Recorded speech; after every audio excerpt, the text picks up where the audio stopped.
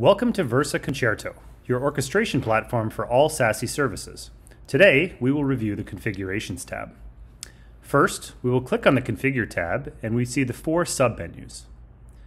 Internet protection is for you to configure your web security policies.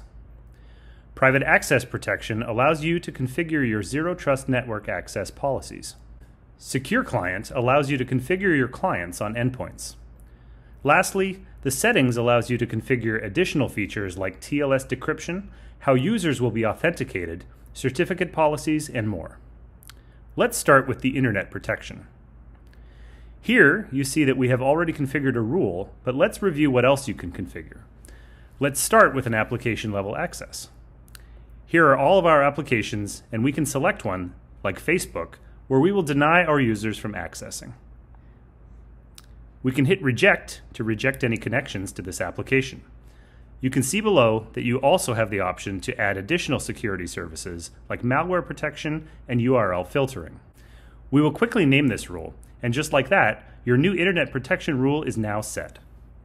Now let's move on to the private access protection.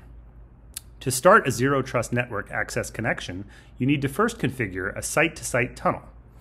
In this configuration, you have the client that is connecting to the Versa SASE cloud, which is connected to the customer environment. We will click here, and we can choose between an IPsec or a GRE tunnel, and below we can configure different routes. After that, we can configure geolocation and geofencing rules that protect us from unauthorized access and specify parameters like which users and which groups are allowed to access which applications. Next, let's move on to the secure client access.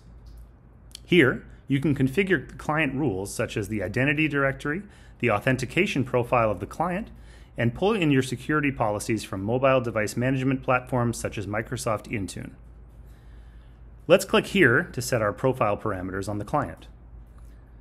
We can figure out what routes are connecting to the users and what are the DNS resolvers.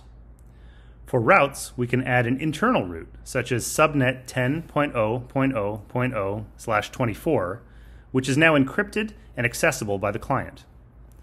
For DNS, we can add an internal DNS here, and click Save, allowing us to quickly create a client access profile that contains both the routes and the DNS information. And just like that, you can see how easy it is to configure policies within Versa Concerto.